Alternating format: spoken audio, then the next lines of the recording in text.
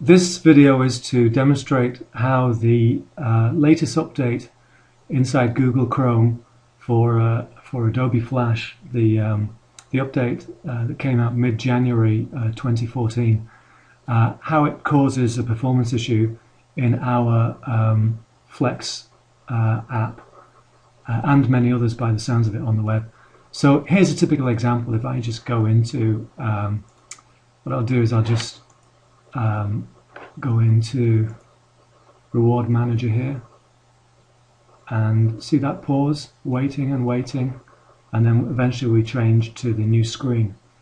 If I just go into um, I'll, I'll, pull up Firefox now and here's Firefox, Firefox I'll go into reward manager um, and you can see that there's absolutely no delay. It goes straight into the next screen. Um, going back to Chrome now I'll just go back there with that. And back into Chrome. If we go into say uh, um, let's look at this one here. Setup learner 1 okay pausing pausing uh, waiting. If I flick the tabs it seems to it seems to mean that uh, excuse me. If I flick the tabs it uh, makes the screen change so there's some kind of issue there, an issue there involving perhaps the focus on the uh, on the screen. So um, going back,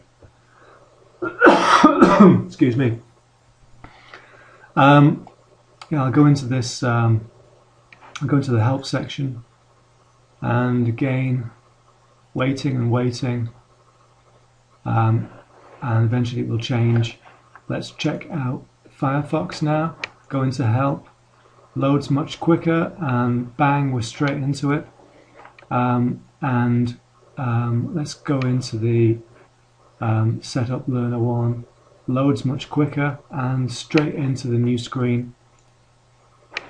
And um, okay if I go back to um, go back to Chrome. Let's just take a look at um, just take a look at uh, the actual scrolling. No, I think that scroll is, is actually cached, so that's okay. But um, generally speaking, the issue is around the time it takes to refresh a screen. Um, and uh, um, typically it takes, you know, 10, 20 times longer. And you can actually make the screen refresh faster by flicking the tabs. Flick between tabs or click in the URL bar and on, on Chrome it makes the screen ref refresh faster. Now this is basically, this is uh, um, this app is made with uh, Adobe Flex 4.6 and inside Flash Builder, um, but it's using Flash technology. The performance is, is great uh, on uh, Internet Explorer, Firefox, all of the browsers, Safari on the Mac. The issue is entirely inside Chrome and um, it's causing us problem with problems with customers, and uh, it, it, also makes Chrome look like a really shoddy piece of work. So it's in it's in Google's interest to get it sorted out as fast as possible.